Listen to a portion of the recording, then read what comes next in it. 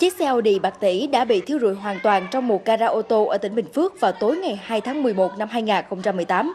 Rất may nhiều xe ô tô và xe máy khác được giải cứu kịp thời. Theo đó, khoảng 19 giờ cùng ngày, anh Lê Viễn Du, 37 tuổi, đang ở ngôi nhà số 90 đường Hùng Vương, phường Tân Bình, thị xã Đồng Xoài, xuống gara, nơi để xe của mình thì hốt hoảng phát hiện khói bốc lên từ một chiếc xe Audi. Anh Du gọi mọi người và lực lượng chức năng cùng hỗ trợ dập lửa.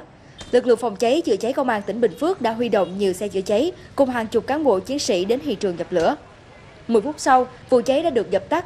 Tuy nhiên, chiếc ô tô hiệu Audi trị giá hàng tỷ đồng đã bị ngọn lửa thiêu rụi. Nhờ được can thiệp kịp thời nên ngọn lửa đã không cháy lan sang nhiều xe máy và ô tô khác. Nguyên nhân vụ cháy đang được điều tra làm rõ.